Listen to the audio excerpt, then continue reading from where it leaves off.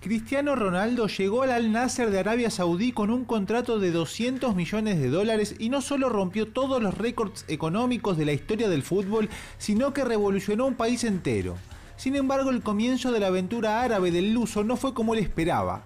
Primero debutó en un amistoso contra el PSG de Lionel Messi y fue derrota. Y después, ya en su primer partido oficial, quedó eliminado de la Supercopa al perder claramente con el Al Attihad por 3 a 1.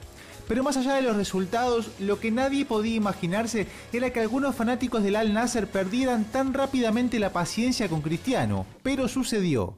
En las últimas horas se viralizó un video en el que se puede ver cómo algunos supuestos hinchas del club tiran al piso una camiseta del astro portugués y la pisotean mientras se limpian los pies con el 7 y el Ronaldo que tenía estampado en la espalda.